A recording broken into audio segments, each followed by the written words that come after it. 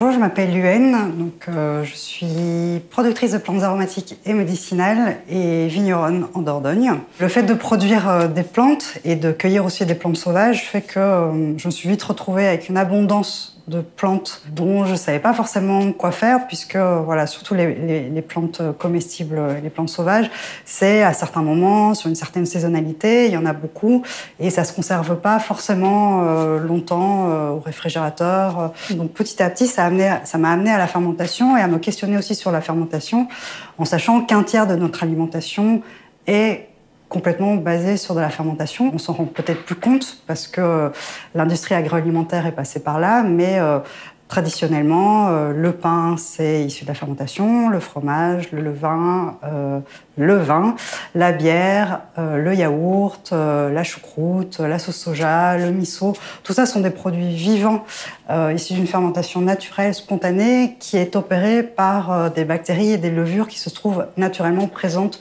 dans l'environnement.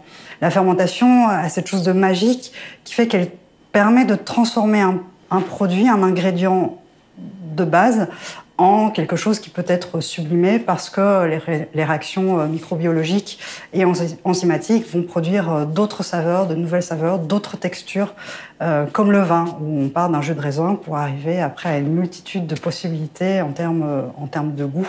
Donc aujourd'hui, je vais vous présenter plusieurs recettes issues de la lactofermentation. Donc on va commencer d'abord par les bases de la lactofermentation. Donc vous allez voir que c'est très simple une fois qu'on a les principes de base, il n'y a aucun souci et c'est toujours répétitif euh, ça, ne change pas euh, sur euh, cette manière de procéder.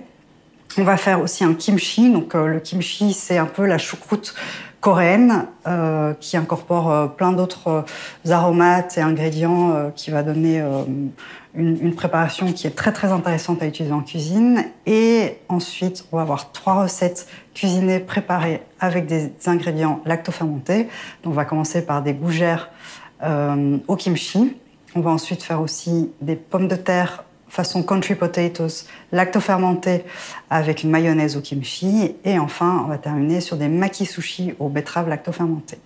Je suis Uendo, bienvenue chez Chak. Chak Cuisiner simple et pointu.